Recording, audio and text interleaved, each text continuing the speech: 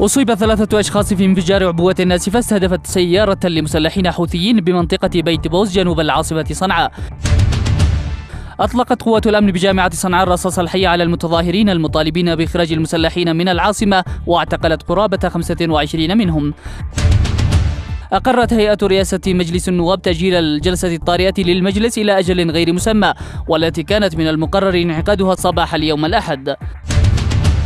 كشف القيادي في أحزاب اللقاء المشترك الدكتور محمد القباطي لصحيفة عكاظ عن صيغة اتفاق أولية تجري مناقشتها بين أحزاب اللقاء المشترك وقيادة حوثية بموجبها يتم التفاوض مع الرئيس هادي وحكومة الكفاءات للعدول عن قرارهما بالاستقالة.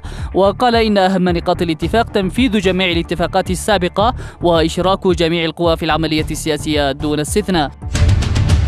انسحب الأمين العام للتنظيم الناصري عبد الله نعمان من جلسة جمعت جمال بن عمر مع القوى السياسية بما فيهم الحوثيون مشيرا إلى أن الحوار مع الحوثيين يسير إلى طريق مسدود بسبب تعنت الحوثيين واستخدام القوة لقمع الاحتجاجات.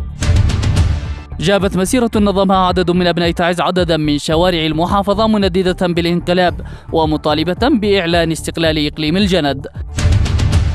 سقط قتلى وجرحى في اشتباكات مسلحة بين قوات الأمن ومسلحين من اللجان الشعبية التابعة للحراك الجنوبي بمحافظة عدن. مصادر أمنية قالت إن الاشتباكات اندلعت فجر اليوم الأحد بسبب نصب مسلحي الحراك نقطة أمنية في منطقة كريتر.